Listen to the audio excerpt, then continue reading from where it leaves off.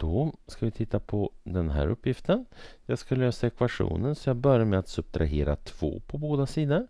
Så får jag 2 stycken z i kvadrat är lika med minus 2.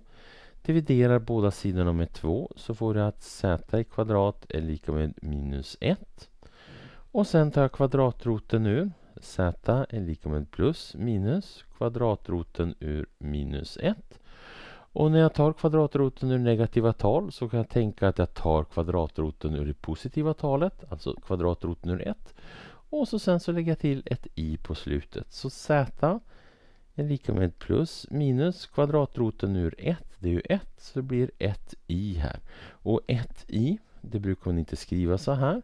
Utan det brukar man bara skriva som ett i. Sådär. Så z1 är lika med plus i och z2 är lika med minus i.